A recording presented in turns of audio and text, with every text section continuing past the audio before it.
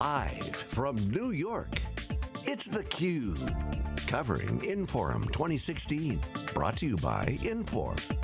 Now, here's your host, Dave Vellante. We're back.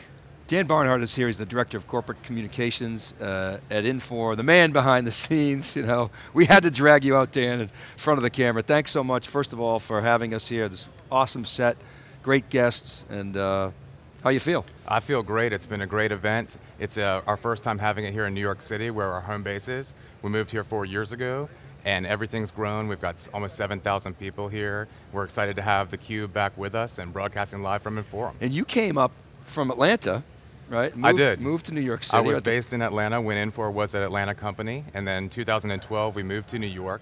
I think Charles explained how we could get a lot of design talent that's here, a lot of new thinking towards user experience, and I was one of the people that relocated uh, to be based at headquarters. I'm thrilled. I mean, it's really been an amazing story, well, and I guess the thing that strikes me when we go to these conferences is the ability of a company to attract talent you know, sort of underscores, in my view anyway, its future, and it, and it looks like Infor really been able to do that. I know a lot of that's Charles, but it's not just Charles. The entire management team uh, that's understated, but also very well networked. You know?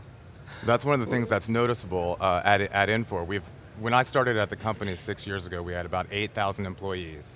Uh, this week we have 15,000 people, we've grown incredibly. And one of the things that's pervasive is everyone at the company fir firmly believes in our executives and in our strategy, and it makes it a great place to work. We're not just doing a job, we're doing something we really believe in. We believe that we're changing industries and we're making commerce better, and uh, that's something to be proud of. So a year and a half ago, we were at New Orleans, um, great city, awesome jazz, Charles, a jazz, jazz fan, it was kind of a, a cool theme. It was good, it was well attended.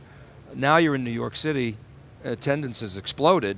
You're in mid-July. Right. Right, you had fantastic attendance, Maroon 5 playing tonight, people are excited. So give us, break down the numbers for us. People are very excited about Maroon 5 tonight. We had uh, 7,000 people here at Inforum, which is a lot of growth for us. We had uh, 40 exhibitors here in the hub. You can see all the action that's going on, which is a ton. Uh, 25 sponsors, including our diamond sponsor HCL, our global cloud partner AWS, Amazon Web Services.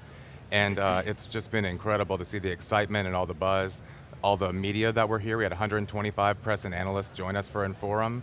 A lot of news about H&L Digital and digital transformation uh, to come out of that. It's just been an overall very exciting event. Yeah, so Hook and Loop Digital, big announcement, pointing that externally to customers. It's To me, it's the beginning of the, I'll call it the platform play, but the reaching out to the ecosystem, not only partners, but customers, and, and innovators within your customer base to actually develop new capabilities, new function on top of the existing platform, that's got to be an exciting well, move. Definitely. Well, Hook and Loop uh, was a hugely differentiating thing for us when we created in 2012. Our customers were loving the interfaces, their users were loving it. They came to us wanting us to do more programs with them.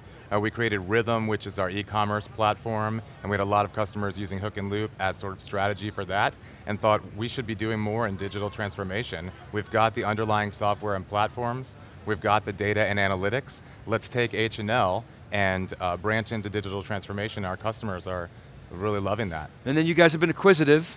We have. You know, right, you made an investment in Predictix, then an acquisition, another acquisition, a big, big announcement in retail, or not an announcement, but big push in retail.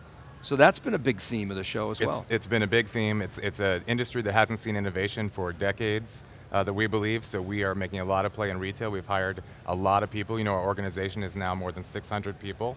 We invested in Predictix in January. The investment went so well. The two teams worked so well together that it just made sense to bring them uh, to be a part of Infor. And then of course the IoT play, Infor IoT, we heard you know, that announcement yesterday. Uh, I mean, on the one hand, you got to have an IoT play today. It's just such a huge market, but you've got a unique approach there. Talk about that Definitely. A a, well, most of the conversation around IoT has been about devices. We're connecting this device and that device, and the devices are talking, but people are not talking that much about the devices, who's listening. Yeah. And on the listening end is, is the software that Infor that Infor has, including in facilities, uh, predictive maintenance is a huge area for IoT for us to make a big difference.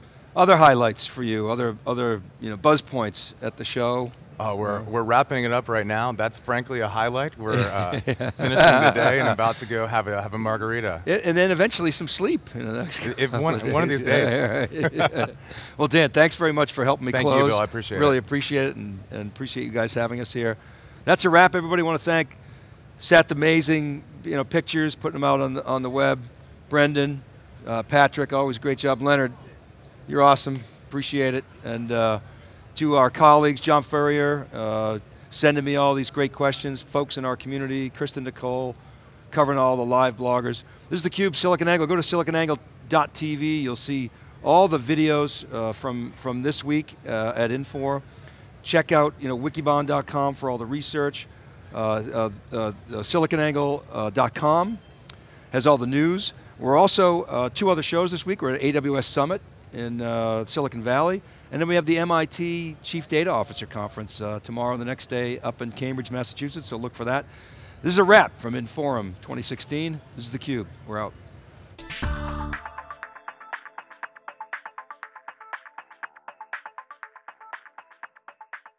I'm the Chief Financial Officer